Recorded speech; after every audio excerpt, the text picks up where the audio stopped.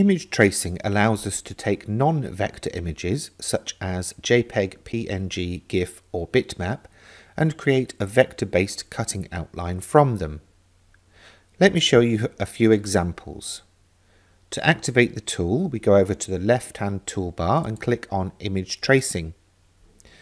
Now we can import an image that has been scanned on our machine, but for the purposes of this example, I will be choosing an image from my computer.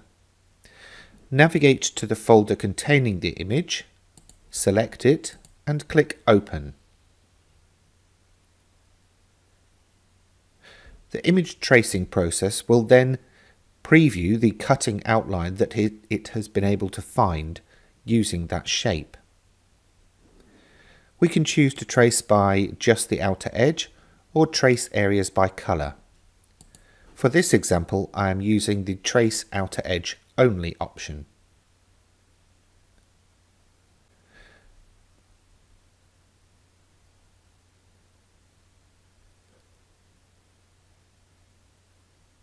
Before I click OK, I will deselect this box that says paste the image on the drawing area.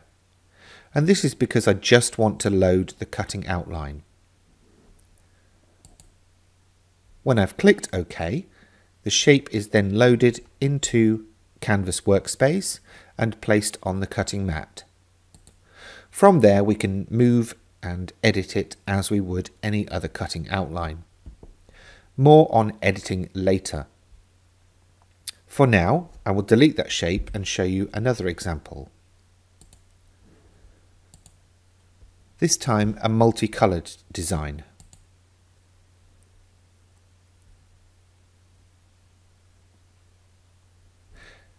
Now the software did well at finding the outline of the shape, but what will happen when we change this to trace areas by colour?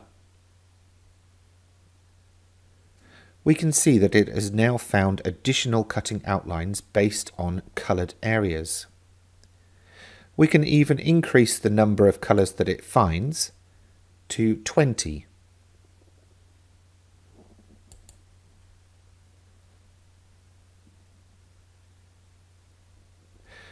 This time I will paste the image on the drawing area along with the cutting file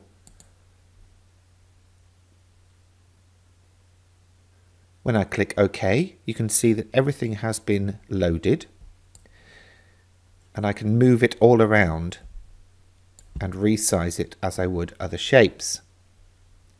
Now, unlike the online version, the image layer does move and resize with the cutting outline. So this tracing result is better for us if we want to resize what we are tracing. Over on the Layers tab, which is on the right, we can see the individual shapes that go to make up that design and the image layer. If I hide that, you will see just the cutting outlines. They are all placed in a group.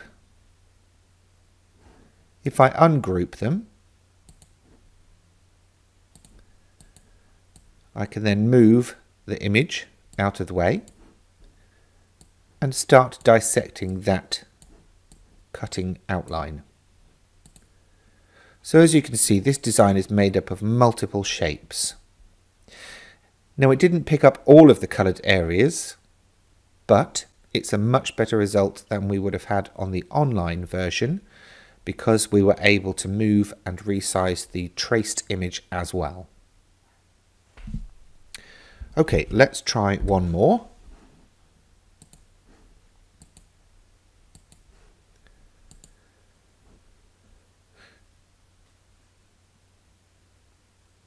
For this example, tracing the outer edge only did well, and it's picked up a lot of the areas. So I will click OK here to load everything. And as before, this is a better option for us because we can resize the image along with the cutting outline.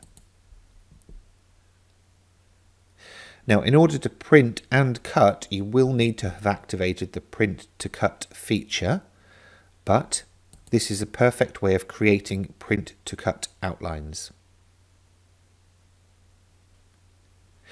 As you can see though, there are instances where the results are better if there are solid colours or if there is good contrast between the background and the shape that we want to trace. If this image had had a patterned background, the software will have had a much harder time recognizing the outline.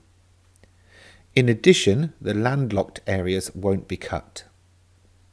They're just some things to think about when looking for and selecting images to trace and cut. As you can see though, the process is very simple and you can trace pretty much any of the four file types that I've mentioned, JPEG, PNG, GIF or bitmap. There are some limitations and the software will obviously let you know if it can't do what you're asking. I will cover off the other option, the image scanning, in a later video.